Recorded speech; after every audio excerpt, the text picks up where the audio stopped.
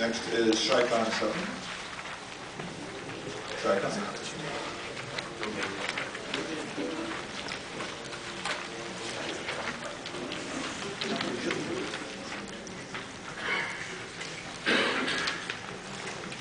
For the purposes of this uh, piece of business, my name is Danny Warhouse. So uh, we, we, uh, the, at the spur of needing to make our, our filing deadline, we actually did finally get to the point where we understood uh, what our uh, total surplus and uh, did our full pass-alongs. Somewhere around here, we have a checkbook for more money to pass along. We'll probably do that at the main business meeting tomorrow, or the site selection business meeting. Uh, We've got some significant checks to hand out, plus to whoever wins the, uh, the um, 2015 race, we have a very large check for them. Uh, And we still have a remaining surplus, uh, just under $90,000, that since we only got to about a month ago, understanding how much it was, we've only just started really exploring how much we're giving out. And there are a couple notable things that we're discussing, like, uh, like and the Worldcon Heritage are both uh, in our ear, as well as uh, sort of uh, World Worldcon uh, WorldCon-related um, uh, issues uh, kind of uh, locally in Chicago, Uh, and that's uh, on our table. Um, Anything, uh, anything else that uh, people want to tackle us and say, hey, give me money, um, as long as you're not too, uh, too rough about it, uh, grab me this weekend and we'll talk more about it. But if there's any questions. I have a question. Sure. Does that mean that you expect to disperse all your funds by the end of this year? No. I, I, I don't think that that is, is possible, not with that size of money. I mean, but there, but there are some significant uh, amounts. There, there are some significant amounts that are being looked at and being asked for, so, you know. And uh, Deb needs a new house, and, uh, and- and actually, sorry, the, the ninety thousand listed here, that's actually a typo, it's nine thousand after the renovations to Tom Beal's house on the roof. Good question. Can you buy us coffee for tomorrow morning? Can, can, can, can, can Chicon buy coffee for tomorrow morning? Yeah, for the for business meeting, we usually get coffee. Will, will, uh, will everybody that, will everybody that drinks the coffee tattoo Chicon 7 on their forehead? Do you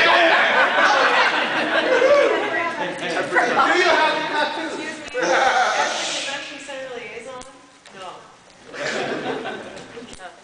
It's a catering issue. Okay, there, there's evidently, there's a labor problem. You should come to Chicago where there's easy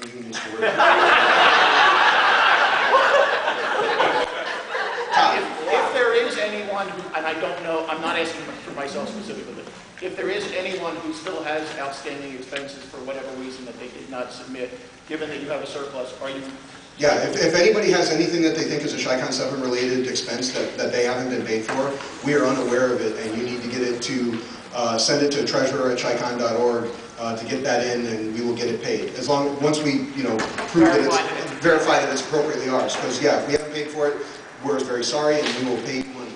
So, cash money on the barrel. Have memberships been?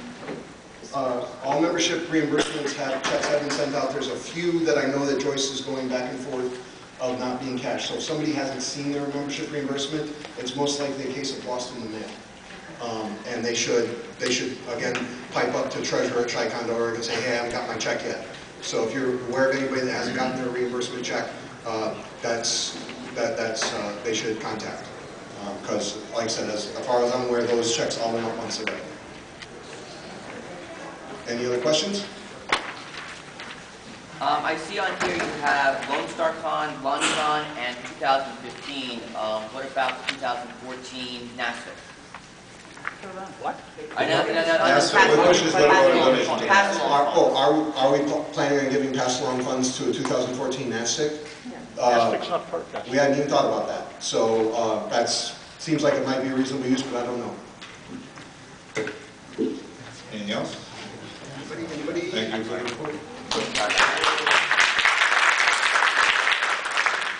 Lone Star Con three.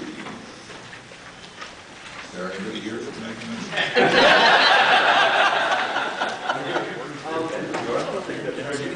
Me? Uh, I don't think about it. Uh, Ben? Go for it.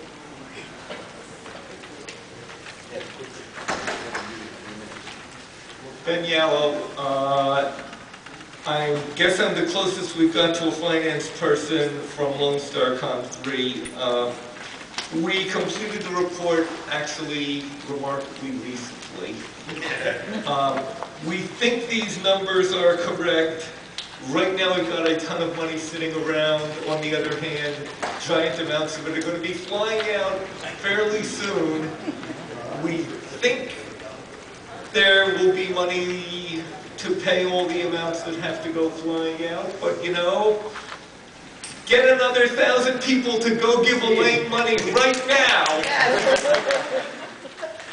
I'm sorry, site selection closes on Saturday.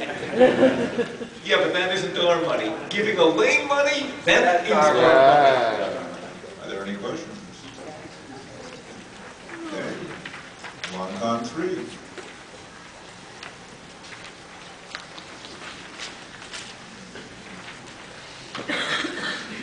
Steve Cooper, co-chair of Loncon 3. Uh, don't have much to say at the moment. Uh, we've not had large amounts of, um, well, large areas of the areas. It's been limited to uh, membership and pass along, and we've had very limited expenses so far. So we do have a slightly large uh, surplus at the moment, but that will disappear very quickly. I would like to say one thing at this point.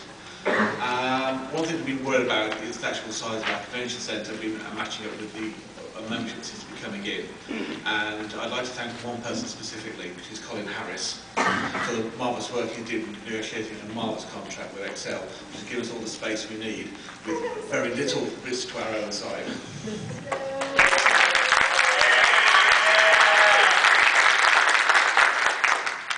So, any questions?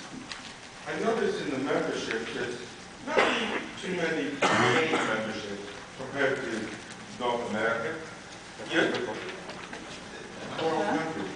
This is fairly typical at this stage, and like most conventions, your local members join late, your distant members join much earlier. So people in the US are thinking, well, I'm coming to LonCon 3, the British ones don't have to make their mind up until a bit later. Can I get your name? I'm sorry. Uh,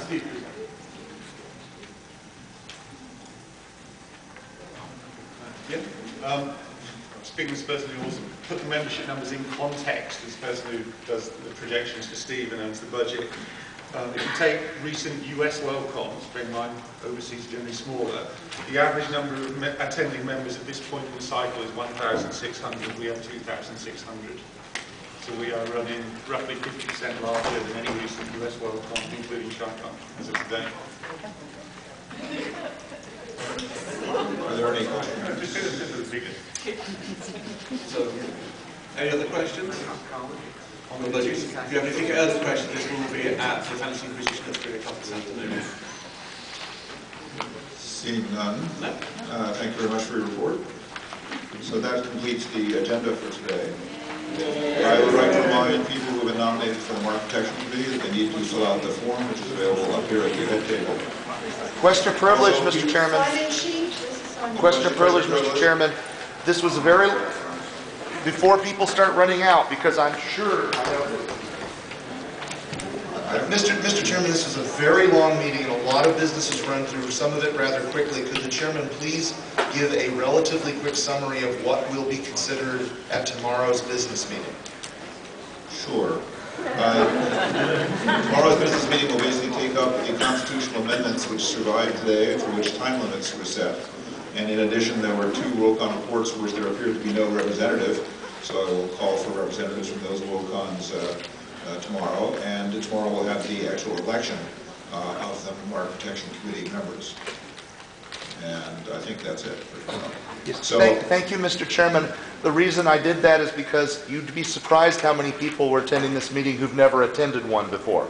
That's, okay, I'm happy to answer such questions. I also like to say that anybody who is here who did not indicate their attendance should come up to the head table uh, after the meeting. I have the membership, the attendance list up here. And in addition, there are, uh, if you did not get a business meeting attendee ribbon, I have those up at the table also. And, uh, Yes, people want to contact the, be on any of the committees, either the newly created one or the existing should also contact me as volunteers. Any nominations for the Mark Protection Committee? Move to adjourn? Uh, Move to, motion made to adjourn. Uh, I declare the preliminary business meeting adjourned uh, till tomorrow morning for the main business meeting. not good.